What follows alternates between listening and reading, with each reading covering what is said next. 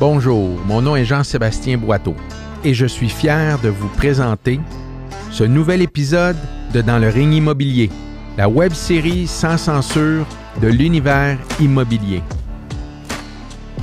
Cet épisode est rendu possible grâce à notre partenaire Pavi Cassipilaï. Aujourd'hui, on reçoit quelqu'un qui laisse pas personne indifférent, le courtier Mathieu Arsenault. Restez avec nous, on se retrouve en studio.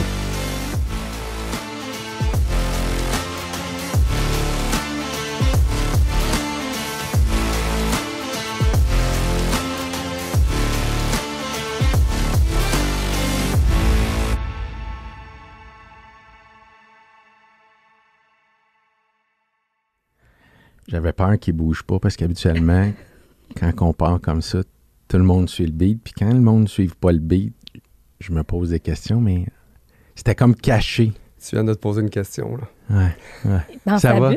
Ouais. Ça va, Mathieu? Ben oui, ça va bien. Un Ouais. gros merci pour, euh, pour l'invitation. Ouais. Sarah, t'es, prête à attaquer? euh, Eh notre- mon Dieu, on a plein de questions pour toi. Ouais, ouais, ouais. Merveilleux. fait que tu viens nous visiter de Gatineau, ton, ton patelin? Oui, mon patelin euh, depuis euh, une vingtaine d'années. Ouais. Fait que tu as décidé un jour d'attaquer euh, ton patelin dans l'immobilier. Exactement. Oui. Puis aujourd'hui, ben, euh, c'est, ça fait tout près de 20 ans. Euh, donc, euh, T'étais-tu, euh, tu t'enlignais-tu pour le courtage immobilier? euh, je te dirais que le courtage immobilier, c'est venu en grandissant. Mon père avait des immeubles locatifs. Ah, et puis, euh, j'ai tout le temps baigné là-dedans, je te dirais, depuis mon jeune âge. Et puis, euh, c'est ça. Dès que j'ai eu 18 ans, whoop, euh, c'est venu de plus en plus me chercher. Puis c'est de là que j'ai commencé mon cours en courtage. Et puis, j'ai débuté. Es-tu toujours aussi passionné qu'au début? Tout le temps. Autant? Je te dirais que oui, parce que, tu sais, c'est un métier que, je pense, si t'as pas la passion avec le nombre d'heures que ça l'exige, euh, tu te ramasses à prendre euh, 15 sortes de pilules, ça prend pas de temps. faut que tu aimes ce que tu fais parce que te faire déranger un dimanche matin ou un samedi soir ou. euh, écoute, faut tout le temps indirectement que tu sois disponible. Puis je pense que quand tu aimes ça, ben, ça fait en sorte que tu dors bien le soir. Aujourd'hui, le dimanche matin, puis le samedi soir, tu réponds encore à tes clients? Euh, je te dirais qu'aujourd'hui, fin de semaine, euh, après 20 ans, j'essaye de le mettre euh, à off, mais j'ai une très bonne équipe maintenant. Mais je suis tout le temps là, j'ai tout le temps mon cellulaire proche. Comme là, j'arrive de Dubaï la semaine passée, puis j'avais mon cellulaire qui était là, même si un fuseau horaire à 9 heures de plus, c'était pas évident. Mais tu sais, je me dis, je l'emporte dans mes voyages parce que quoi? Parce que dans le fond, euh, je peux ne pas l'emporter, mais quand je reviens, j'ai des maux de tête pour trois jours. Fait que je me dis, regarde, je fais peut-être une petite demi-heure, une petite heure par jour. Sauf que quand je reviens, ben, euh, parce qu'en plus de l'immobilier, j'ai plusieurs autres choses. Donc, euh, tu sais, j'ai des, des immeubles locatifs, j'ai euh, tout près de 400 portes d'appartements. Donc, tout ça ensemble font en sorte que c'est sûr, j'essaye de l'éviter, mais il est tout le temps proche de moi. Comme je suis allé jouer au hockey en Russie en 2016, ben là, j'étais, écoute, j'avais le cellulaire de Rogers sur un bord, le cellulaire de Bell. Je me suis, je me disais, s'il y en a un des deux qui plante là-bas, ben j'ai le backup de l'autre compagnie. Mais euh, bref. euh, un voyage ça. personnel en Russie? Ouais, un voyage personnel avec euh, une petite gang. On est allé jouer au hockey à Moscou. Et puis, une belle expérience. Bref. Ouais. Est-ce que le Mathieu euh, Arsenault qu'on voit à la télé, c'est le même Mathieu Arsenault dans sa gang d'amis? C'est-tu un personnage au travail ou c'est toi, ça? Qu'est-ce qu'on voit dans les médias, à la télé? Je te dirais que euh, le Mathieu Arsenault qu'on voit à la télé, c'est pas mal le Mathieu Arsenault de la vie de tous les jours, tu sais. T'es une personne colorée. Euh, exactement, exactement. Puis j'aime la vie. Euh, je bouge, ça va vite. Euh, tu sais, je suis un TDAH euh, pas médicamenté. Fait que moi, tout le temps, ça va vite, vite, vite, vite, vite. Puis, euh, euh, oui, je te dirais que euh, c'est pas mal le Mathieu Arsenault de tous les jours. OK. Tu vas voir que si euh, tu décides de le mé- médicamenter, ça va aller vite en tabac. je peux te le dire, moi. Mais euh, c'est une bonne question, Sarah. Tu sais, euh, nous, euh, puis très positivement, Mathieu Arsenault, c'est un personnage. on va dire Mathieu Arsenault, on va dire ah, le gars en hélicoptère Mhm. qui. ça te met pas une pression d'avoir tout ce cet entourage-là, la perception des gens qui ont de Mathieu Arsenault? Du tout. Du tout, parce que pour ceux qui me connaissent, tu sais, quand j'avais 18 ans, j'avais rien. J'ai commencé de loin. Euh, J'avais une voiture que j'avais payée, une Honda Civic, je me rappelle encore, DX88, écoute, peinture au rouleau. J'avais payé 500 dollars. J'habitais avec mes deux autres frères d'un logement euh, pratiquement primodique, un trois chambres à coucher. Puis la première année que j'ai faite en immobilier, ben, j'ai fini, euh, j'ai terminé premier au Québec. Puis c'était mon élément. Puis je te dirais que tout ce que j'ai aujourd'hui, je ne l'ai pas volé à personne. Mhm. Je l'ai mérité.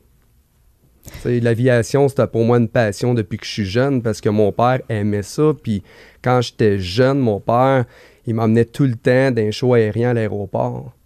Fait que j'ai eu une passion. J'étais jeune, je m'en souviens, j'étais en quatrième année, j'allais à l'école, j'étais au primaire.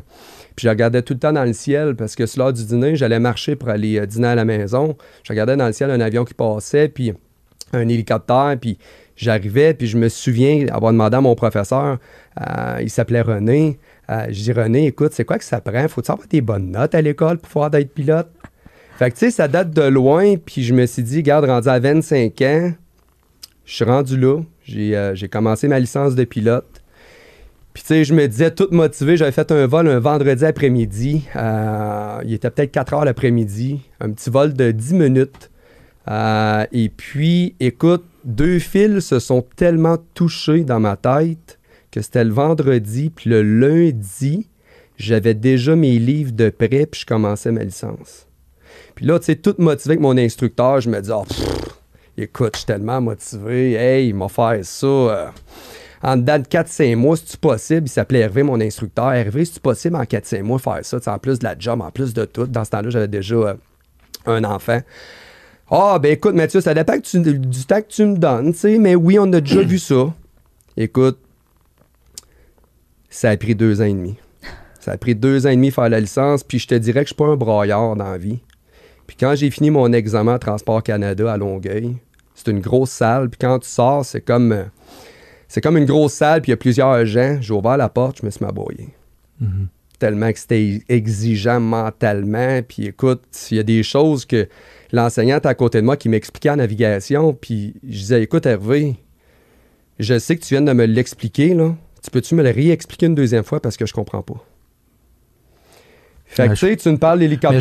mais, mais- mais je peux comprendre pour. pour euh, tu sais, tu dis TDAH, puis je veux pas embarquer là-dessus, là, mais, mais c'est. C'est euh, c'est des situations, moi, que je, je- je me, je m'y retrouve là-dedans. Tu sais, puis, puis on a des défis euh, parce que la concentration, c'est quelque chose qui fait que c'est pas facile. Est-ce que. mais, mais ça fait qui tu es aujourd'hui comme entrepreneur parce que tu as bâti une structure en fonction de, puis tu pas habitué de baisser les bras. Est-ce que je me trompe ou c'est. Exactement. Sais, exactement. J'étais un gars que, tu sais, quand ils disent euh, sors de ton. euh, sors de ton. euh, Sors- non, mais sors de ta zone de confort. exactement. Ouais. tu sais, j'étais une personne qui est capable, qui a une facilité à sortir de sa zone de confort. Et dans le fond, toi, pour toi, ça a été un autre accomplissement d'aller chercher cette licence-là parce que c'était ton objectif depuis que tu étais jeune. Là, ça a été Oui. chose faite. Je pense pas que personne à être.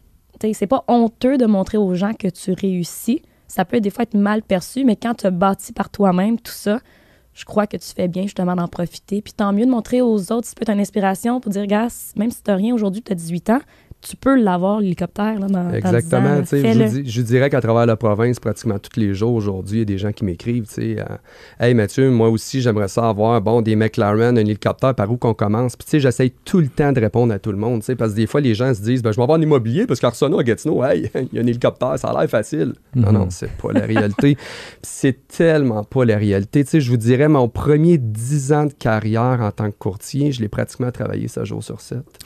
Mais, mais moi, tu as tout mon respect parce que, un, tu, tu, on comprend que tu réalises des rêves dans, des histoires comme ça, mais je suis certain, puis challenge-moi si c'est pas le cas, c'est que tu, tu fais de tes rêves une promotion qui t'aide à générer aussi la suite des choses. Exactement. C'est un petit peu ma marque de commerce depuis environ 12 ans, qu'à toutes les années, je prends une journée, des fois deux, puis je la consacre entièrement à la société. Mhm. Ça veut dire quoi? Moi, mon, je me considère chanceux parce qu'aujourd'hui, j'ai quatre enfants, ils sont en santé, puis ça, pour moi, c'est un privilège. Le monde ne réalise pas, mais le fait de se lever le matin en santé, c'est réellement un privilège. Mhm. Et puis, ce qui me touche beaucoup, c'est que je trouve que ça mérite pas d'exister un enfant qui a trois ans, qui est sur un lit d'hôpital avec son toutou, puis qu'il sait, puis la famille sait qu'il va décéder dans deux mois. Je trouve que ça mérite pas d'exister. Ça vient tellement de chercher que je te dirais que depuis une dizaine d'années, à tous les ans, je réalise une journée de rêve à un enfant Mhm. comme que j'ai fait cette année, euh, comme que j'ai fait l'année passée. Pourquoi, dans le fond, c'est de mettre un grain de sel à une journée à un enfant pour lui faire vivre de quoi que euh, c'est un rêve pour lui. Ah, tes- C'est beau. Ouais, non, tes enfants, ben, je pense que Sarah aussi, ça vient te chercher parce que Ah, beaucoup. toi, tu euh, tu t'impliques aussi beaucoup au niveau euh, du Père Noël, des enfants. Oui, Opération Père Noël. Ouais. Donc, euh, ben, en fait, tout ce qui touche les enfants, Saint-Justine aussi, là, je vais faire des dons. Puis, il n'y a rien de pire qu'un enfant qui est dans le besoin ou un enfant qui est malade. C'est tu sais, un adulte, là, quand tu es en santé, tu peux te Exactement, sortir de n'importe quoi. Mais un enfant, ça dépend de Mhm. l'adulte qui est autour de lui ou s'il n'y en a pas, c'est ça qui est triste. Fait que non, ça, ça me touche beaucoup. Puis je trouve ça beau. En ayant des enfants, toi aussi, tu as des enfants. Ouais. C'est pire, depuis que tu as des enfants, tu dis aïe, aïe, aïe. S'il Ouais. fallait que ça nous arrive, tu sais. Ah, non, puis, puis moi aussi, mais dans une autre fondation euh, qui est euh, Marie-Vincent, euh, qui est les enfants qui sont abusés sexuellement. On rentrera pas là-dedans, là, mais, mais si, si j'apporte ça, c'est pour aussi amener aux gens qui sont là, qui, qui nous entourent, on a un devoir de société, c'est d'être un leader, non seulement professionnellement, mais d'être un leader socialement. Puis je pense que chaque leader qu'on regarde ou qui nous motive a un devoir socialement qui a été accompli. Est-ce que je me trompe ou... Exactement. Mhm. On est des professionnels de l'immobilier, mais c'est pas juste aussi travailler fort, parce qu'on mérite notre argent, parce qu'on travaille fort, mais aussi de la partager, euh, de partager ce succès-là envers la société, c'est amazing. Mhm. Est-ce que tu partages tes défaites? Aussi, je te dirais qu'en 20 ans, il y a eu beaucoup de, essais-erreurs, essais-erreurs sur plein de choses. Parce que tu tombes pas là du jour au lendemain. Tu sais, je dis tout le temps deux mots pour moi les plus importants, c'est constance puis persévérance. Mhm. Tu sais, si tu as ces deux qualités-là, je pense que dans peu importe quelle sphère de ta vie, tu pas de limite. Tu sais, c'est pas juste de le faire une semaine, puis après ça, tu arrêtes pendant six mois. C'est d'être tout le temps constant. Puis de là, si tu une passion pour qu'est-ce que tu fais, vraiment aucune limite. Tu vas aller chercher n'importe quel sommet de n'importe quelle sphère de ta vie. Tu parles vraiment comme un entrepreneur, c'est beau, c'est fun. Parce que être courtier ou être entrepreneur comme tu l'es dans plusieurs compagnies, il n'y a pas de livre d'instruction. Tu n'es pas un docteur, tu sais, c'est ça, ça, ça, quelle étape faire. Fait que de parler justement de toutes les sphères à accomplir, puis de la persévérance, la constance, c'est la clé. Ouais. Et si tu l'as, ben, un gros félicitations, parce que oui, tu l'as, là, si tu es là Ouais. aujourd'hui, euh, c'est que c'est Oui. accompli. Euh, Partage-nous une, une de tes euh, défaites qui, qui, pour toi, a été une défaite, mais qui t'a servi par la suite. Parce que chaque entrepreneur, pour moi, dans les défaites, il faut, faut, faut savoir pourquoi qu'on l'a, qu'on l'a perdu. Je te dirais que euh, c'est arrivé, mais tu sais, c'est arrivé quand même plusieurs fois dans ma carrière. Comme exemple, euh, la plus typique, je te dirais, bon, tu t'en vas sur une inscription pour aller mettre une propriété en vente. Puis bon, on est six courtiers. Euh, les propriétaires vendeurs rencontrent six courtiers différents. Et puis, bon, je suis numéro 3 sur 6, exemple. Puis ça l'arrivait que, euh, bon, j'avais pas l'inscription, tu sais. Ils ont décidé de prendre un autre courtier. Bon, ben, tu sais, Parce que ça l'arrive encore, ça j'imagine. l'arrive encore. Puis j'essaye tout le temps de. Les gens vont m'appeler, tu sais, me dire par respect, écoute, on t'a pas pris parce que ça, ça, ça. Tu sais, t'essayes tout le temps de t'améliorer pour d'être top of the line. Tu sais. T'as-tu Fait- quelque chose en date d'aujourd'hui que tu dirais ça, c'est amélioré? Y a-tu quelque chose qu'aujourd'hui, Mathieu Arsenault a une amélioration à faire? Je te dirais oui. Ça, c'est quoi? Ça, en partant, c'est une bonne Ouais, réponse. ça, c'est une très bonne réponse, d'être bien honnête. Ça arrive Ouais. des fois que je gère un petit peu mal mon temps. Euh, tu sais, ça arrive des fois que, tu sais, dans une journée, je me dis, bon, un listing prend deux heures. Puis, tu sais, quand j'étais revenu de Dubaï, la journée d'après, j'avais sept inscriptions en une journée. Fait que, tu sais, ça, c'est comme inhumain. Qui qui inscrit sept maisons une journée, c'est vraiment dans le domaine, c'est un peu flyé, c'est un peu fou. Puis, ça arrive des fois que dans mes derniers rendez-vous de la journée, j'ai du retard. Non, puis pas rien que ça, c'est que tu vas au rendez-vous, puis tu sens pas le client, puis tu t'es pas. T'es déjà à ton autre rendez-vous. Je te dirais ça, des fois, ça peut arriver. Tu sais, je me donne un bloc de deux heures par rendez-vous. Je me dis qu'en deux heures, oui, j'ai le temps de faire le tour. Tu sais, des fois, j'ai pas le temps de tout faire, comme prendre les mesures, etc. Mais au moins, la discussion, l'évaluation, etc., elle a été faite. Mais ça arrive souvent que, écoute, je me dis, écoute, j'aurais bien dû en prendre trois, en mettre trois le lendemain, puis euh, faire en sorte que si j'ai une heure, euh, un rendez-vous prend une heure de plus, ben je m'en reviens à la fin de la journée, je vais être correct pareil, tu sais. Fait que c'est une pression que je me fais des fois parce que tu sais, essaies tout le temps de plaire à tes clients à 150% puis des fois, les clients sont là, écoute, là, euh, on est prêt à mettre notre propriété en vente, ça fait déjà euh, un mois qu'on l'a dans la tête, on t'a appelé ce matin, on aimerait ça la mettre à vendre le plus vite possible. Tu sais, ça nous arrive, Mhm. ça, des- le plus vite possible. Fait que tu tout le temps de plaire à tout le monde. Puis, tu sais, cette journée-là, mon dernier rendez-vous, t'es à 22h le soir. Tu sais, puis j'étais sur la route à 7h45 le matin. Fait que, tu sais, c'est une journée. Est-ce- Sauf que des fois, je me dis peut-être que je devrais en prendre un petit peu moins puis en mettre sur d'autres journées. Mais d'un autre sens, tu le client qui est là, qui te dit Écoute, moi, c'est le plus vite possible, Mathieu. En plus, les fêtes arrivent. tu sais. Euh, on veut vraiment que notre maison soit en ligne le plus, le plus rapidement possible.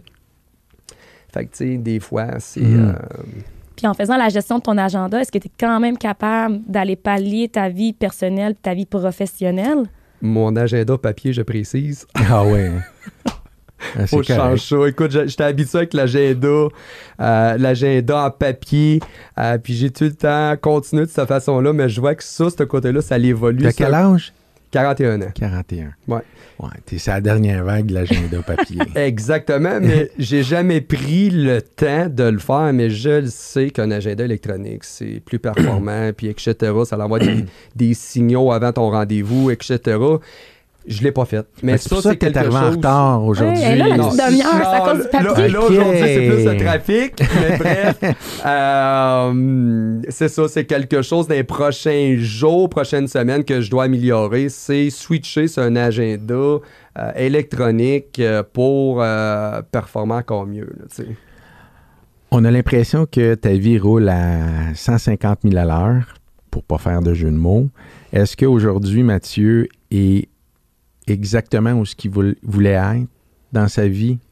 Je te dirais que c'est du, travail acharné jour après jour parce que je me disais pas que j'étais pour arriver là un jour. Tu sais, il y a 20 ans, je me disais pas, écoute, à 40, je veux avoir ça, ça, ça. C'est tellement beaucoup d'objectifs que j'ai, je pense, jamais pensé à ça. Sauf que, tu sais, jour après jour, mois après mois, année après année, a fait en sorte que j'ai fait des bons investissements parce que, tu sais, à 20 ans, je faisais déjà d'un six chiffres là, tu sais, pour un enfant de 20 ans. Parce qu'à 20 ans, tu es encore un enfant. Tu n'as pas d'expérience de vie. Tu es encore, la plupart du temps, tu habites encore chez ta mère dans le sous-sol. Fait que Fait- je t'annonce, Sarah, que tu viens de sortir de ton enfance. Mais bref, euh, c'est un petit peu ça, tu sais. Euh, mais pour répondre à ta question, euh, dans mon cas, à moi, c'était du toujours qui a fait en sorte que je suis rendu là aujourd'hui. As-tu une vision de toi à long terme, dans 5, dans 10 ans? Est-ce que tu sais où ce que tu veux aller? Ou c'est au jour le jour encore? Je te dirais que comme c'est là, ça serait de peut-être un petit peu plus délégué. Je suis un petit peu rendu là. T'as-tu la misère déléguer? J'ai pas de misère, mais qu'il faut vraiment que je me concentre là-dessus. Puis aujourd'hui, je suis parti quand même de Gatineau à venir vous rencontrer. C'est aussi d'échanger mon expérience pour que les nouveaux qui commencent puissent peut-être pas faire les mêmes erreurs que j'ai pu faire. Fait que ça, c'est beaucoup d'inspirer les nouveaux mhm. euh, qui se lancent dans ce domaine-là.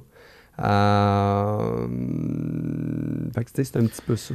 D'ailleurs, je prends 30 euh, secondes pour saluer Jérémy de l'équipe Sacha de Santis qui est avec nous, qui lui est parti de l'autre sens de Magog pour, pour venir voir aujourd'hui. Qu'est-ce que tu donnerais comme premier conseil à un, quelqu'un qui commence dans l'immobilier? Comme premier conseil, euh, moi je dirais. Ben, premier conseil ou un conseil qui fait que. De ne pas, euh, pas abandonner, parce que quand j'ai commencé, moi je peux te dire que des fois, je faisais du porte-à-porte. Puis ça l'arrivait, là, tu sais, une porte, je me faisais faire ma porte euh, pratiquement au nez. Deux portes, trois portes, quatre portes, cinq portes, dix portes, quinze portes, dix-septième porte. Hey, hey, ça donne bien, rentre.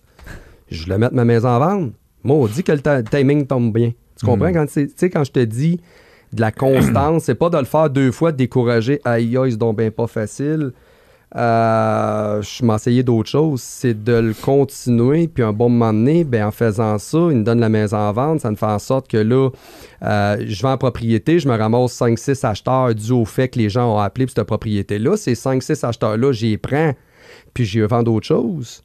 Mais tu sais, c'est de quoi que j'aurais pas eu? C'est un exemple que j'ai dans ma tête, mais c'est de quoi que j'aurais pas eu si après deux, deux portes, trois portes, j'aurais abandonné, j'aurais dit aïe aïe ouf, c'est quoi ça, tu sais? Puis des fois, ben, ces gens-là, t'arrives puis t'es déranges, ils sont pas dans le move de commencer à parler d'immobilier ou peu importe. Fait que, parce que moi, j'ai commencé dans mon, dans mon jeune temps que la compagnie du proprio n'existait même pas, tu sais. Mm-hmm. Fait que des pancartes vertes, ça n'existait pas au Québec. Donc, euh, c'est un petit peu ça.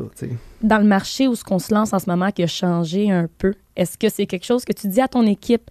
d'aller cogner aux portes, de revenir un peu à ça, chose qu'on n'avait plus personne le temps de faire avec le COVID, qui était mal vu, en fait, d'aller aux portes des gens? Est-ce que c'est quelque chose qui reprend un peu euh, vie? C'est sûr que le marché est en train de faire de bord, mais ça me fait penser dans, le coin des années 2008-2009.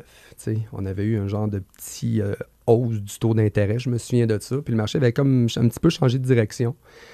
Mais c'est sûr que, à mon avis, ça ne restera pas. Et puis, l'autre chose, c'est que oui, répondre à ta question, là, c'est sûr que, tu sais, les visites libres, je suis beaucoup axé là-dessus, pratiquement tous les week-ends. Euh, puis plusieurs visites libres parce que c'est une chose facile pour aller chercher des acheteurs. Mhm. La personne qui rentre, tu le sais, qu'elle a une intention de acheter une propriété. Euh, donc, euh, oui, c'est sûr que le marché est en changement actuellement. Et puis, c'est euh, de faire en sorte euh, de t'ajuster aussi dans ton, euh, dans ton travail. C'est clair que l'ajustement fait partie des, des, des, décisions des leaders, que ce soit en immobilier ou, ou que ce soit dans autre chose tu sais, on parle de, de visite libre, puis ta question est bonne, Sarah, parce que je sais que ta stratégie personnelle est différente que ça et ça fonctionne très bien. Euh, est-ce que, selon vous, la stratégie, parce que, tu sais, moi, j'ai commencé, euh, comme toi, Mathieu, j'ai commencé il y a une vingtaine d'années dans l'immobilier. Les porte-à-porte, je n'ai fait. Euh, ça se retrouve encore. Tu parles de visites libres. Effectivement, les visites libres, euh, dans le marché qu'on rentre, c'est essentiel à mon avis. Est-ce que vous pensez euh, que dans 5 à 10 ans, on va retrouver encore ce genre de formule-là pour faire de l'immobilier? Moi, je pense que Je pense que oui, parce que veut, veut pas, ça prend un moyen aussi pour aller chercher cet acheteur-là. Euh, c'est une façon euh, c'est une façon que, bon, si tu mets un responsable dans une propriété qui est affichée à vendre, puis a quelqu'un, des fois, que, bon, il s'en va en visite chez un ami qui habite sa même rue, puis qui voit la propriété, des fois, ça peut aller vite. Mm. Je pense que c'est une bonne façon. Dans 5 ou 10 ans, tout évolue tellement vite. Les voitures, les cellulaires, les ordinateurs, ça évolue tellement vite. Je pense que oui, aujourd'hui, en 2022. Mais. J'ose espérer, mais j'ose espérer que dans 10 ans, il va encore avoir du contact personne à personne. C'est sûr que plus ça va, plus c'est virtuel et tout ça, mais je pense pas qu'on va perdre. C'est quand même un gros morceau. Là, quand on parle de vendre la maison, c'est où la personne va aller. Elle a besoin de venir sentir l'énergie, veut, veut pas. Ben, c'est pas tout le monde, là. Mais, euh, mais de là où est-ce qu'on va travailler plus en secteur ferme encore dans 10 ans ou sur les réseaux sociaux avec la technologie, on va être encore sur plus grand. Il y a tellement de choses à analyser à court terme. Encore là, aujourd'hui, qu'est-ce qui est mieux? C'est de faire un secteur ferme ou c'est d'y aller à grande échelle, grand territoire, réseaux sociaux. On peut faire ça partout avec Internet, télécommunications, télétravail. Fait à voir où ce que l'avenir va nous mener. Même encore aujourd'hui, je me pose la question qu'est-ce qui est mieux? Y a-t-il une mm. formule gagnante? Mais effectivement, bon point, tu sais. Euh, c'est définitivement ça. Sais, le contact humain, je trouve qu'il s'en va tranquillement pas vite dans la profession. Ben oui, puis, puis là, ben, je vais vous reposer une deuxième question, puis on a le droit de se la poser. Est-ce que le courtier immobilier va exister dans 10 ans? Oh là là, on rentre dans le blockchain?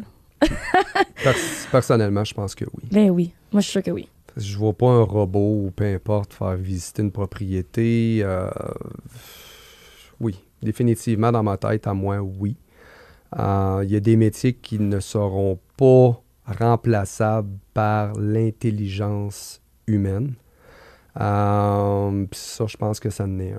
Oui, c'est vrai que ça a évolué. Oui, je le sais que depuis 20 ans, le contact humain, je me souviens, moi, dans le temps, c'était du papier, c'était juste du papier.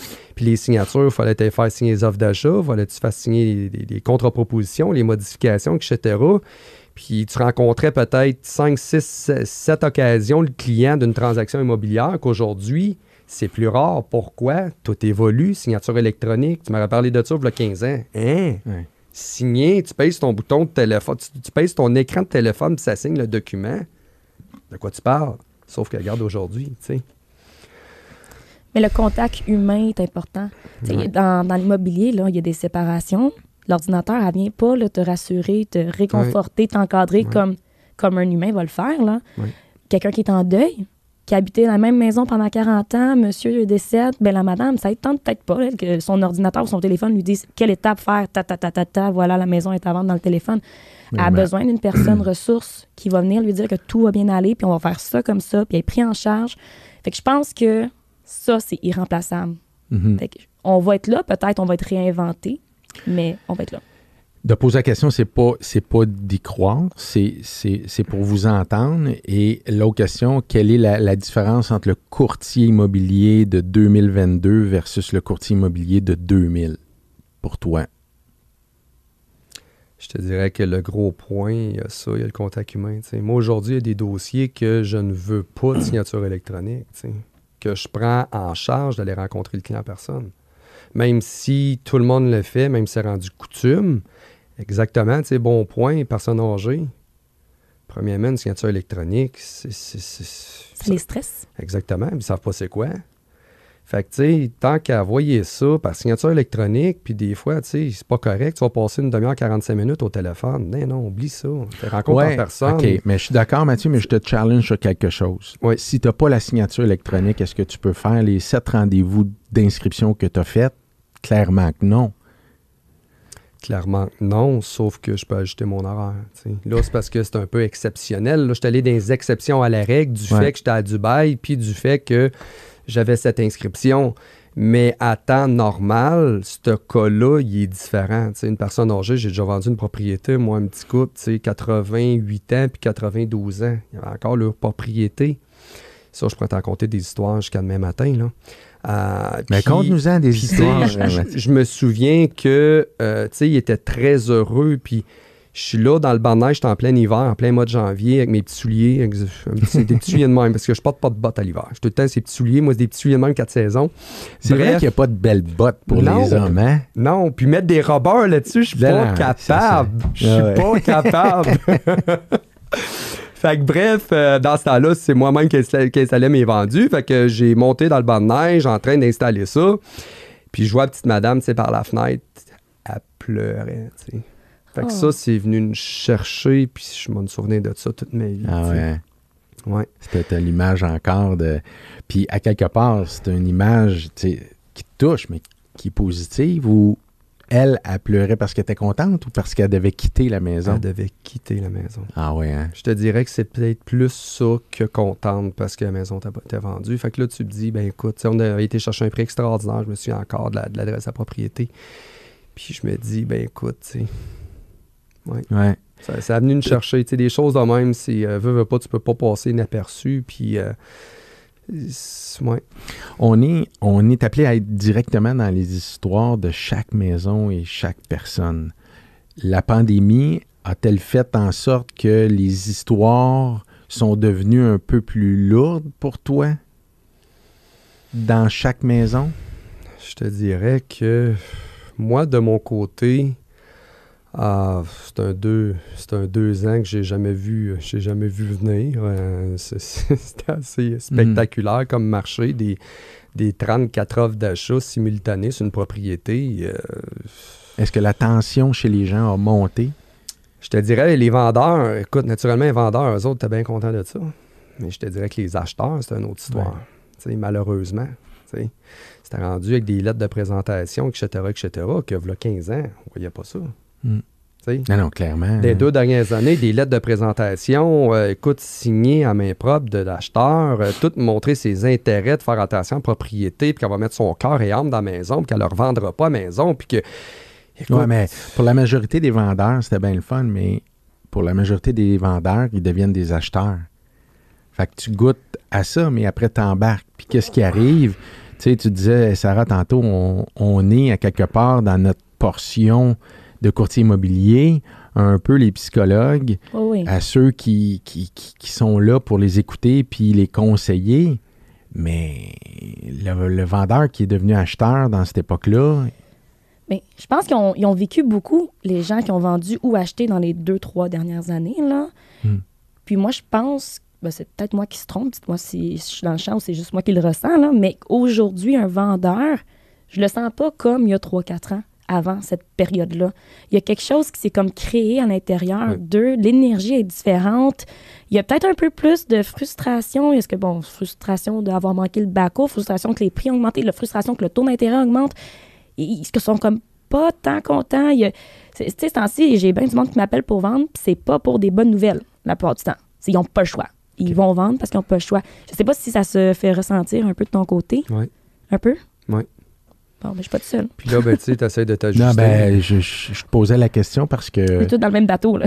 Tu sais, il y a encore des gens qui sont moins, euh, qui sont moins sur les médias, axés sur les médias, à regarder les médias. Puis il y en a encore, je rencontre dernièrement, ben écoute, euh, mon voisin, euh, il y a un an et demi, a vendu, puis il a vendu euh, 30 000 en haut du prix. Je comprends, mais on n'est plus là. là. Puis est-ce que vous sentez que des fois, les gens ont l'impression que c'est un peu de notre faute? J'ai eu cette période-là où je disais, voyons, on voyait ces réseaux sociaux, là, tout le monde lançait ça, ces courtiers immobiliers. Mais je pense que ça a fait, euh, ça a fait le tour là, de la Mhm. tâche. Je pense que les gens réalisent la réalité. là. Je veux dire, c'est l'inflation, ça a été sur tous les domaines, c'était pas juste l'immobilier. Fait que non, ça, je le ressens plus. Moi non plus. Le marché à Gatineau, il est comment? Le marché à Gatineau, il est particulier. Pourquoi il est particulier? Parce que, tu sais, la région de l'Outaouais, c'est quoi? C'est Gatineau, tu traverses un pont, tu arrives à Ottawa. Donc, moi, ma propriété personnelle, où ce que j'habite, j'étais à exactement 4 minutes en voiture du centre-ville d'Ottawa. Ça veut dire qu'à Ottawa, tu as 40 000 fonctionnaires. Puis c'est sûr que ces fonctionnaires-là, ben, ils achètent du côté de, de Gatineau. Pourquoi? Parce que le prix des propriétés est beaucoup moins cher que s'ils achèteraient à Ottawa. Mhm. Fait que je pense que le marché de l'Outaouais Euh, je parle euh, du côté de Gatineau, va toujours rouler d'une certaine façon dû au fait qu'il y a 40 000 fonctionnaires à Ottawa, puis que la même propriété est quasiment le double du prix qu'elle pourrait acheter de l'autre bord à Gatineau. Tu as le trafic du matin, mais le trafic à Gatineau, c'est pas le même trafic que ça, ça à 15 puis de la 40. là, tu sais, on s'entend que oui, il y en a, mais tu sais, ça va durer peut-être quoi, une heure, tu sais, puis c'est fini. Puis Ouais, même à ça. tu es dans le trafic, puis ça l'avance. Fait que tu sais, c'est pas si pire. Euh, fait que les gens sont pas mal tous axés d'acheter, tu sais, je parle d'un salaire moyen, ils sont pas mal tous axés d'acheter euh, à Gatineau que d'acheter à Ottawa, qu'à Ottawa, s'ils achètent, ben, il faut qu'ils soient à une heure du centre-ville, tu as la route aussi à faire, puis tu vas avoir relativement le même prix, sauf que tu vas avoir une heure de route au lieu de faire un 10 minutes. Donc, si, t'es- si tu travailles Gatineau, est-ce que tu es taxé sur le volume? Exactement. Est-ce que les prix ont baissé ces temps-ci ou c'est encore stable? Aujourd'hui, on voit beaucoup, beaucoup, beaucoup de diminution de prix à Gatineau. Oui. hein? Beaucoup. Sarah Mathieu, euh, je vous arrête quelques secondes. On s'en va à la pause et euh, au retour, la capsule ID3. Dans le ring immobilier rendu possible grâce à notre partenaire Pavi Cassipilaï, le meilleur spécialiste hypothécaire de Banque Scotia.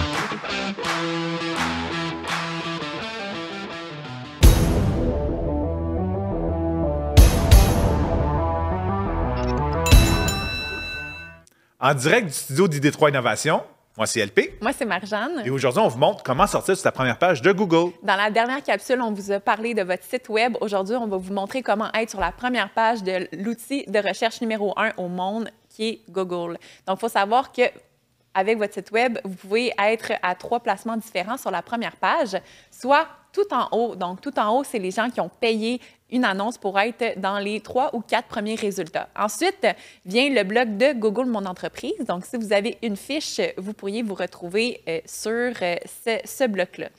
Par la suite, il y a les résultats naturels euh, de Google. Donc, votre site Web, s'il est bien référencé, pourrait s'y retrouver.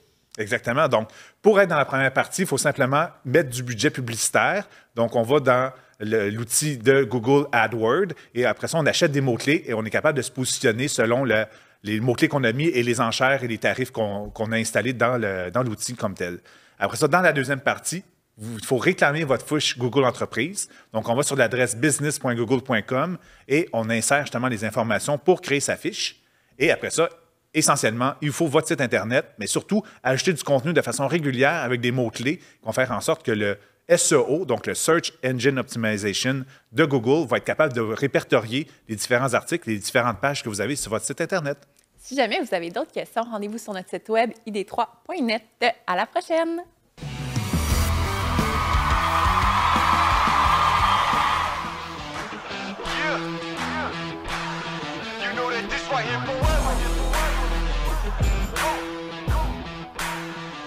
Pavi Cassipilaï, Enchanté. Enchanté. Très content de te recevoir, Pavi, parce que tu es un de nos euh, gros euh, commanditaires. Merci de ta confiance. C'est important euh, pour nous de te le mentionner. On est content de faire équipe avec toi. Merci à toi, Jess, et merci, euh, François. Euh, si je ne me trompe pas, au niveau du service, euh, par rapport, parce que tu as, deux styles de clients, deux sortes de clients. Si on veut, tu as les, les acheteurs de propriété et tu as les courtiers immobiliers Ouais. qui sont tes clients. Ouais. Euh, puis de ce qu'on a vécu, on parle de- justement de la qualité du service. Euh, je dirais aussi euh, qualité de la communication. Euh, donc, tu communiques bien et rapidement, efficacement avec les courtiers, euh, de sorte, parce que nous, nous, c'est ce qu'on recherche tout le temps aussi. Tu sais, on cherche, euh, on a des délais courts, Exact. on veut savoir ce qui se passe, on Proactif. veut, on veut être, c'est ça, puis toi, tu es tout le temps, tu es proactif là-dedans, effectivement. Exactement. Donc structuré. Ouais. Ouais. Mais je trouve que c'est important, c'est parce que c'est un travail d'équipe. Admettons, comme tu as dit, ma deuxième ma, ma plus grosse clientèle, c'est les courtiers, puis après ça. ça. il y a mes clients. Donc, les, les courtiers qui m'appellent, qui m'envoient un client, par exemple, euh, je vais aller visiter samedi et que, je sais pas, moi, on est mercredi. Je trouve pas ça normal que d'ici mercredi à samedi, je j'ai pas une préqualification pour toi. Mm. Si ton client m'a vraiment envoyé tous les documents, Exact, je devrais être capable de te le dire à l'avance. Comme ça, toi aussi, tu peux gérer ton temps. c'est ça. C'est pas pour parler mal ou quoi que ce soit, mais si ton client n'est pas solvable et qu'il il se dit il va acheter pour du 500 000, mais que son hypothèque lui permet seulement d'acheter pour du 300 000, mais tu vas pouvoir booker tes visites euh, accordément. C'est ça. une des forces de Pavi aussi qui est important, puis que je suis certain que tu nommeras pas, mais moi, je, je- je vais le mentionner, c'est ton calme que tu apportes aux gens. Euh, tu es quelqu'un de posé, puis t'es quel- t'es- donc, donc, ce que ça l'amène, surtout dans une transaction qui est aussi grosse que ça pour la majorité des gens, sinon tous. Mhm. Euh, Mais c'est important aussi. Là, Tu sais, si tu donnes ta, ta parole à quelqu'un, moi, je suis quand même confiant que basé sur cette information, tu vas qualifier pour tel montant. Puis arrivé à la promesse Oui. d'achat, tu dis Excuse-moi, mais je pense que j'ai fait une erreur.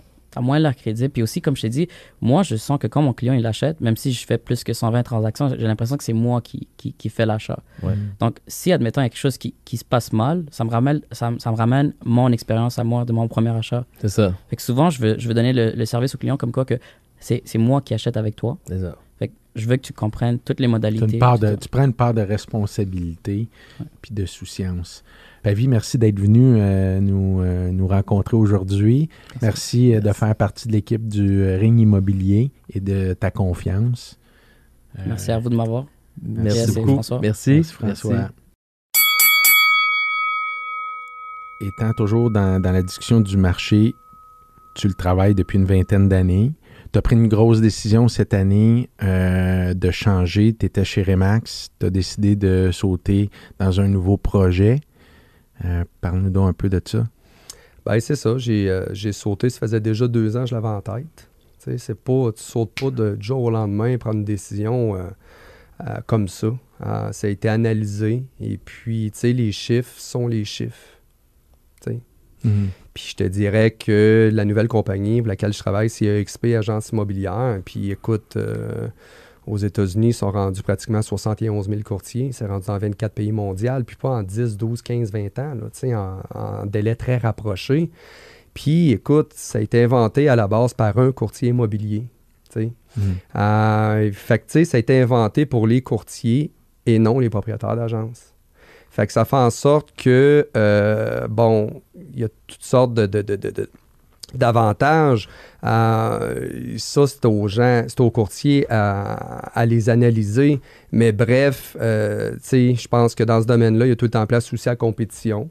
Mhm. Puis je pense que ça va être, euh, ça va être, euh, ça va être bon pour le marché, puis ça va être bon pour les courtiers. Est-ce qu'aujourd'hui, Mathieu Arsenault et son équipe est plus fort qu'il était parce qu'ils sont dans cette position-là aujourd'hui? Définitivement. Pourquoi? Ben, je peux t'en nommer un, tu sais. Les frais. Tu sais, les frais. Mhm. Les frais. C'est sûr que je pourrais, je pourrais, je pourrais élaborer le tout et le. Mais c'est sûr que les, les frais font une grosse différence. Tu sais, on parle pas de 2-3 000 dollars de moins. là, tu sais. On Mhm. parle de dizaines de mille dollars de moins. Puis, tu sais, il faut toujours se rappeler d'une chose très importante. Que dans notre domaine, c'est l'humain qui vend à 99 si je me lève pas le matin, que je travaille chez Remax, chez EXP, chez Sutton, la capitale, ça fonctionnera pas. Moi, je pense Fait- que si tu travailles chez Boiteau Immobilier, ça va être bien. J'y pense.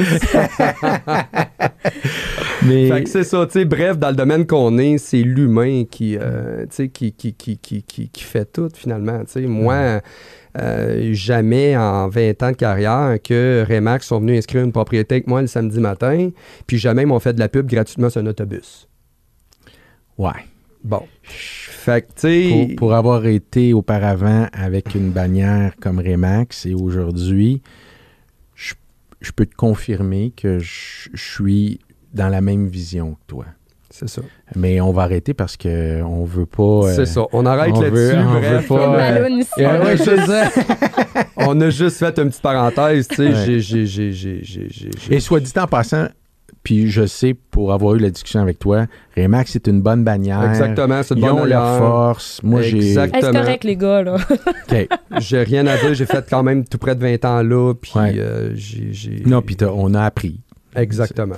Euh, euh, tu grossis ton équipe à une vitesse quand même euh, impressionnante. Qu'est-ce qui fait qu'aujourd'hui, tu es passé de 6, 7, 8 à 25, 30 courtiers en quelques mois?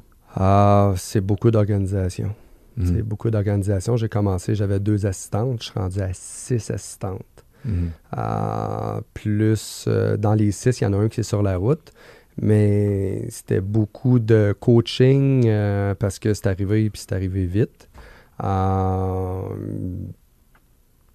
Mais c'est quoi qui est le plus dur pour toi en tant que chef d'équipe, dans la gestion de toute ton équipe, là? en tant que chef d'équipe? C'est quoi qui te challenge le plus? Je te dirais que, tu sais, le courtier que, que, je prends sous mon aile, ben, ce courtier-là, il a eu confiance en moi, tu sais. Puis je ne veux pas décevoir personne. C'est la dernière affaire que je veux. Fait que c'est sûr que je m'arrange tout le temps pour euh, les formations, ce soit ici. Euh, je donne de mon temps aussi. Euh, écoute, fais ça, fais pas ça, essaye ça, on se reparle dans une semaine. Tu sais, du bon coaching. Et puis, euh, c'est ça. Tu sais, à la base, le courtier m'a fait confiance. Donc, C'est pas dur d'avoir 30 courtiers et d'être le seul qui, qui est capable de, de pouvoir être là au quotidien euh, avec son courtier? c'est de l'ajustement, Mhm. As-tu des bras droits un peu là, en tant que courtier euh, bien sûr. top of the team qui peuvent aider Ouais. avec les nouveaux courtiers? Bien sûr, j'ai de l'aide, sauf qu'il reste que la tête en haut, c'est la mienne. Fait que c'est sûr que, euh, puis tu sais, un nouveau qui commence, ben des fois, oui, il peut se faire, il peut se faire donner un coup de main par un, par un autre courtier, sauf que des fois, ils veulent parler à Mathieu, tu sais. Hier, en exemple, à 10h15, j'étais sur le téléphone avec un courtier, justement, qui vivait une situation, puis que, bon, il voulait me parler, savoir, OK, Mathieu, avec ton expérience, qu'est-ce que tu ferais à ma place? Fait que j'ai pris l'appel, puis tu sais, j'y ai donné un coup de main par rapport à ça. Euh, mais je te dirais que c'est de l'ajustement. Puis, euh, ça va-tu bien? Tu me poses la question. Ça va super bien actuellement. tu sais. Ouais. Puis est-ce que tu sens que ta clientèle, je m'attends pas à ce que tu me dises non, mais je vais te la poser quand même pareil. Est-ce que tu sens que ta clientèle est mieux servie parce que aujourd'hui tu es positionné de cette façon-là qu'avant? Définitivement. Pourquoi? Je te dirais que les suivis sont encore. euh, tu sais, là, ça tourne au quart de tour. sais. Euh, C'est quoi, c'est quoi le, le- le trademark le- le- de l'équipe de Mathieu Arsenault? Le trademark, ça serait, je te dirais, euh, premièrement, tu sais, ça serait la réussite. hein, Mhm. dans peu importe les sens du terme. Parce que c'est bien beau inscrire une propriété, sauf que l'inscrire et la vendre, surtout dans le marché actuel, c'est deux choses. Euh, fait que oui, je pense que si tout le monde réussit, c'est ça qui fait que ça devient euh, vraiment gratifiant. C'est ça qui fait que ça devient vraiment winner, gagnant pour l'ensemble de l'équipe. Est-ce que tu as des courtiers qui quittent ton équipe? Est-ce que ça vient te chercher vu que tu es quelqu'un qui est très impliqué avec eux? Tu vas faire beaucoup de formations, de coaching. Si tu en as un qui décide de quitter, est-ce que c'est quelque chose qui vient t'affecter euh, émotionnellement? Définitivement. Définitivement. Comme là, c'est arrivé récemment. tu sais. Ouais. Mais comme chef d'équipe, puis on en parlait, Sarah et moi, comme chef d'équipe, il faut que tu sois prête à avoir un peu le cœur solide. Parce que ça, ça t'est arrivé, arrivé, ça m'est arrivé, mais ça va nous arriver encore. Effectivement. Effectivement. Puis, euh, tu sais, il y en a des fois que, bon, euh, ça fonctionne pas. tu sais. Il n'y a pas d'atome crochu, puis ça fait en sorte que. euh, ouais. Sans rentrer dans les détails, là, avec le dernier qui a quitté, euh, mais ça fonctionnait pas. OK. Euh, Tu sais, des fois, je donne des conseils, tu sais, mais il faut que la personne a bon m'emmener la L'applique. fasse. L'applique. Tu sais. oui, mais il y a ce profil-là, mais il y a aussi le profil du courtier qui rentre avec toi, qui apprend avec toi, puis qu'après ça, ils disent, ben, je pense que je n'ai assez, euh, je n'ai assez appris, ce qui est correct. Je comprends. faut pas mettre les bâtons dans les roues des gens, loin de là. Mais tu gères ça comment, toi, un courtier qui a passé un an, puis qui, qui, qui pour, puis qui va très bien. là? Bonne question. Mais ça a-tu arrivé récemment? Ça n'a pas arrivé. Ça va-tu arriver? Peut-être ça va arriver, mais pas pour cette raison-là. À Mhm. cause des coûts. C'est à cause des coûts. À cause des ça. coûts. Mhm. C'est que veut, veut pas, il reste que les coûts chez XP sont extrêmement minimes. Puis c'est intéressant que tu nous l'amènes, Mathieu, parce qu'il y a beaucoup de, de- de- de leaders d'équipe qui se pose la question puis que, que, ça revient, faut se poser la question toujours est-ce que notre euh, système est vivable? Puis ça, ben, on se cachera pas, mais les coûts, c'est quelque chose qui, qui fatigue beaucoup, beaucoup et qui, est- qui est un game changer. C'est sûr, parce que le coût qui est plus minime peut faire en sorte que le courtier, au lieu de, de le donner à un propriétaire d'agence X, ben, prend cet argent-là puis le met sur sa pub à lui personnel pour lui vendre plus de maisons, pour améliorer son marketing. Tu sais, euh, puis surtout, on en parle depuis le début, le marché comme c'est là, il s'en va pas en montée. Moi, en tout cas, j'ai pas parlé à personne au Québec qui me dit, moi, le marché, mes ventes ont augmenté récemment. Le marché s'en va en Mhm. descendre. Donc, les frais vont être doublement plus importantes, à mon avis, Mhm. en 2023. Les jeunes courtiers, euh, il y a une grosse vague de nouveaux courtiers qui sont jeunes par rapport à il y a 5-10 ans. Là, il n'y avait pas autant de jeunes nouveaux courtiers. Ben, ces jeunes-là, ils n'ont pas nécessairement euh, des centaines de milliers en banque non plus. Ils, sortent secondaire, du cégep. Ah, des fois, ils ont fait un, même pas été à l'université. Ils- Ils vont faire le cours de courtage, ils sortent. Mais là, ils partent, à- ils n'ont pas de coussin financier pour se lancer, puis l'immobilier coûte cher. Je pense que ça, c'est quand même aussi une formule qui fonctionne avec les nouveaux, là, de- d'être le chef d'équipe. Hier, justement, je parlais à un courtier de la région de euh, Thetford Mine, tu sais. Puis euh, il habite là, mais justement, tu sais, 19 ans, il habite dans le sous-sol chez sa mère. Puis euh, il débute, puis il est tout jeune, là, tu sais. Puis là, ben, il m'a vu. Puis là, ben, OK, je t'ai vu dans l'émission numéro 1 l'année passée. T'es une inspiration. Et Mathieu, j'aimerais ça que tu donnes un petit coup de main. tu sais. Fait effectivement, euh, il y en a beaucoup, je trouve, moi aussi, euh, de jeunes qui débutent. Puis, euh, Les jeunes qui débutent puis qui te contactent, est-ce qu'ils ont dans l'idée et, la, et ils ont la compréhension que avant d'arriver à avoir un hélicoptère, ben il y, a- il y a du travail à faire. Il y a des sacrifices, puis ben, ça ne veut pas dire que tous les jeunes aspirent à avoir nécessairement l'hélicoptère et la voiture, mais est-ce qu'ils sont désillusionnés? Est-ce qu'ils sont dési- Délusion. à toi. Vas-y, désillusion. Délusion. Merci, merci. Vas-y donc. Eh, On dit ça comment? mais- Désillusionné. J'aime ça, j'adore. Dé, délisu... Ah, c'est ce que tu veux dire. On le sait. Dan. Non, je suis entêté, il faut que je l'aille. Désillusionné. C'est ça. l'as eu. Vis-à-vis, euh, vis-à-vis, les courtiers immobiliers, vis-à-vis les réseaux sociaux, vis-à-vis la vitesse que ça va? Je te pose la question parce que veut, veut pas quelqu'un qui regarde Mathieu, ses réseaux sociaux, ce qu'il véhicule, c'est l'abondance. Exactement. Sauf moi, je peux te répondre en disant que avant d'arriver là, il va y avoir beaucoup d'eau qui va couler en dessous du pont. Hmm. Parce que ça ça tombe pas du ciel. Puis tu sais, c'est ça que je veux je veux enseigner, je veux je, je, je veux montrer, je veux je veux euh, développer avec les nouveaux que euh, pour arriver là, c'est du travail. C'est du travail puis euh, je veux, euh, je vais essayer de donner mon petit grain de sel à ces gens-là pour,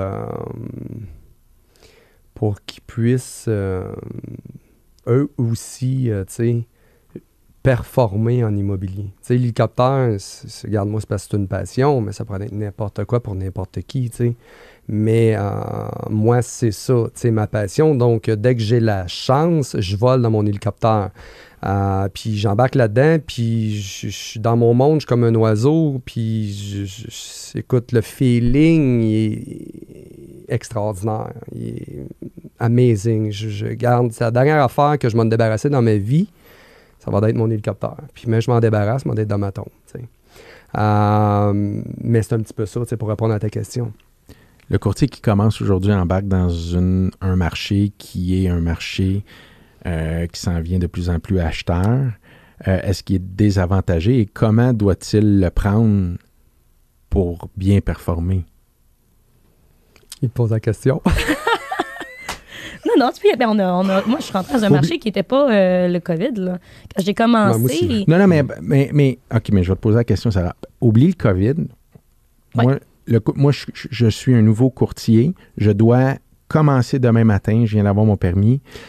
Moi, je pense que, regarde, là-dessus, là, pour le futur, il n'y a pas de boule de cristal, OK? Parce que jamais que moi, j'aurais pu euh, gager, inimaginer que le marché aurait fait ce qu'il a fait a deux ans. Bon, on s'entend là-dessus pas mal tout le monde. Mon chalet, moi, au Lac-Simon, j'ai un taux d'intérêt à 1,39, 5 ans, frais de notaire payés. Je veux dire, regarde, j'aurais jamais non plus imaginé ça, que ça aurait Ouais, descendu aussi bas que ça, tu sais. Euh, ceci étant dit, pour un nouveau qui commence, je pense qu'il y a de la place pour n'importe qui dans ce domaine-là.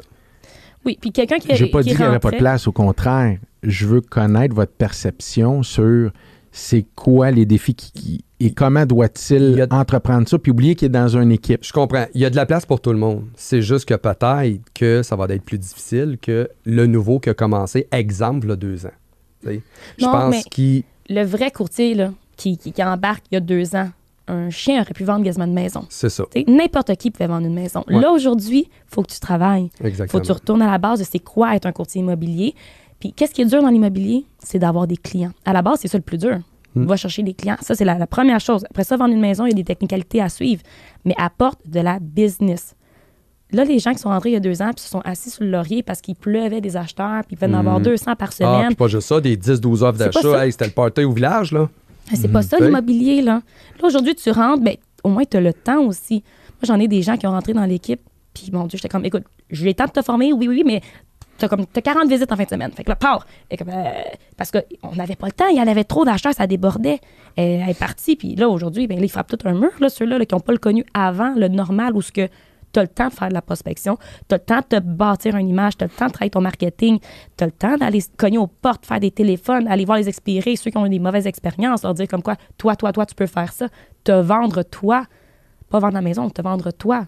Mais ça, les gens ne le faisaient plus. Là, on va voir c'est qui les vrais, qui qui sont capables justement de ressortir du lot sur les 300 courtiers.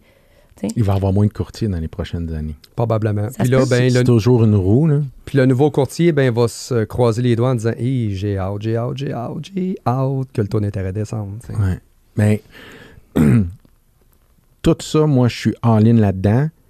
Je vais euh, vous seconder en ajoutant qu'un nouveau courtier doit faire non seulement de la prospection avec des clients, mais doit rencontrer des chefs d'équipe parce que pour moi, un nouveau courtier, un nouveau courtier qui se colle dans une bonne équipe avec un leader qui va être capable de bien l'épauler, Va réussir. En théorie. Assurément. Mais mais il y a une autre affaire, il y a une autre étape. C'est que d'embarquer dans une équipe, puis vous le vivez, le courtier qui embarque dans l'équipe, puis qui attend, puis les, les, les listings, puis les leads, puis qui dit Ah, mais ça fonctionne pas parce que non, faut que le courtier embarque, qu'il soit d'un culotte de ses, ses, ses membres pour pouvoir apprendre. Tu sais, moi, là, Mathieu, là, demain matin, je commence je rentre dans ton équipe. Moi, ce que je veux, là, je vais être assis à côté de toi le plus de temps possible pour t'entendre parler à ton client vendeur, ton client acheteur, puis entendre c'est quoi que tu vas avoir comme objection, puis qu'est-ce que tu vas répondre, puis comment que tu t'enlignes. Oui. Ça, pour moi, là, Excellent. C'est la crème de la crème pour un nouveau courtier. Mais est-ce qu'on en a des courtiers qui sont prêts à faire ça?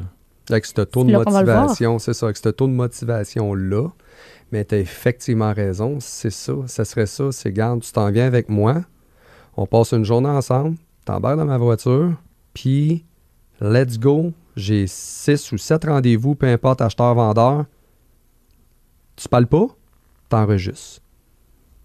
T'enregistres. Tellement. Ça, tu l'apprends pas à l'école. Non.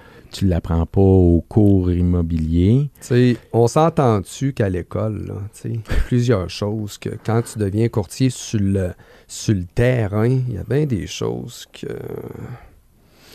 C'est pas la même chose. Mais non, c'est ça. Puis quand tu es collé à un chef d'équipe comme toi, mettons, le- ton nouveau courtier te suit, mais lui, il a la chance de pas apprendre par les erreurs tout de suite parce qu'il y a quelqu'un devant lui qui a fait les erreurs. Tu sais, il peut sauver ces erreurs-là Oui. Exactement. que tu vas avoir fait par le passé. Exactement. Exactement. Puis ça, ça n'a pas de prix. Mm. Ça n'a pas de prix. Moi, là, Ben, ça a un prix. c'est 20 ans de ma vie. C'est 20 ans de ta vie, Ouais. puis c'est son taux horaire qui vient de sauter phénoménal. Écoute, faut que je donne. un- un- un- un- il nous reste quoi, cinq minutes? Faut que je, faut que je vous explique une autre histoire que j'ai vécue. J'ai vendu, v'là, euh, v'là deux ans, la plus dispendieuse propriété de tous les temps à Gatineau. Ah, je l'ai vu passer sur les réseaux. Euh, c'est une propriété qui s'est vendue euh, dans le secteur Gatineau.